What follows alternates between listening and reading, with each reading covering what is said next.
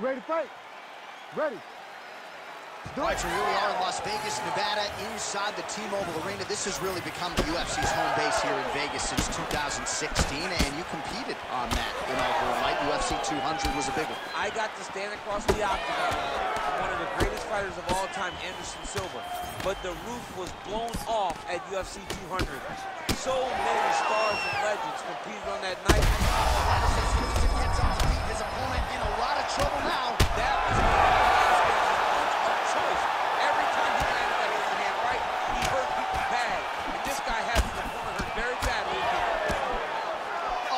Good is this? One minute into the fight, and we got a full-on brawl. These guys said that they were going to... Oh, my goodness, he broke one out.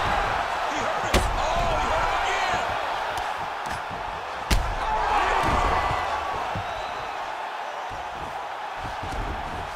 A lot of top pressure being applied here. So look at that. A cut has been opened around that eye area. He's taking shots over and over again to that area, and now he's dealing with a cut. Good job blocking that shot. Well, I'm no fighter, but if I rock the guy to that extent, I feel like, wow, oh, how good is this? Both men going for the finish. Back to his feet.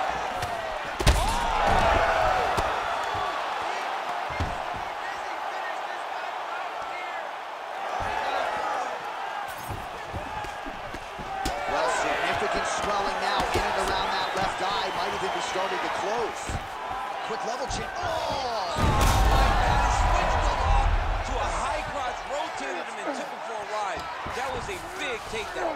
Now drops inside that closed guard, DC. Full guard. Let's see how patient he is as he attacks a submission or big ground and pound. All right, working on the ground here. His opponent's feet on the hips. All right, so inside the open guard of his opponent. You gotta be careful playing around for too long here on the ground with this guy.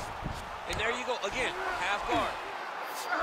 Well, there are a few things more fun to watch in mixed martial arts than these type of transitions and scrambles on the ground. High-level grappling can really be entertaining. Making all these shots count. Oh, he's setting up for a submission now. That D'Arce choke is tight.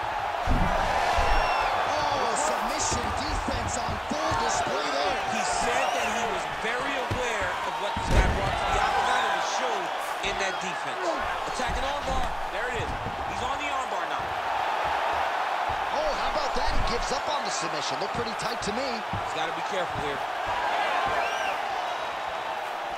All right, 20 seconds to go in the round. Oh, lands a nice straight. Ooh! Back to the feet. Oh, he... oh, you gotta keep pressing here. Could be the beginning of the end. Round two straight ahead. All right, let us re-rack some replays of the damage done in that round. See if we can isolate the strike that caused the cut. Yeah, a nasty cut opens up when he lands there. It's a beautiful shot that gets to the target. He has not been responsible defensively, and he's really paying for it because now he's dealing with that nasty cut.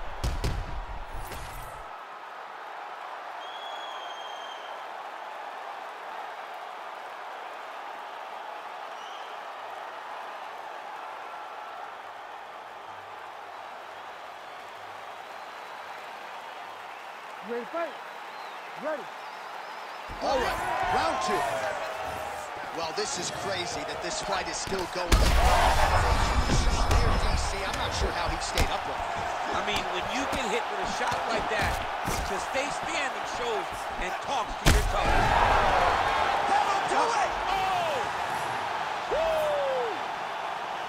Yeah, man, crowd loving it. Just a gorgeous shot there to end the fight. Really just the way he drew it up. He found the opening and capitalized on it to the utmost extent. Nicely done to finish the fight.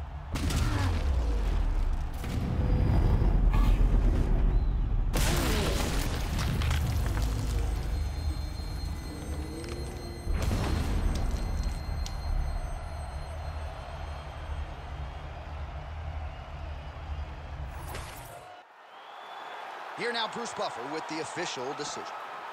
Ladies and gentlemen, referee Herb Deans called a stop to this contest at 23 seconds of round number two, declaring the winner by knockout and Intentions. Well, there will be no shutting that smile off tonight. The celebration is on as he gets a huge win by knockout tonight. I got to think there are a few better feelings in the world than walking into an octagon and candidly knocking another man out cold. Yeah, you shut a person's lights off, man. There's nothing like it. Now, I understand a lot of times we hope for the knockout, but he was never hopeful. He was sure that he would get it done,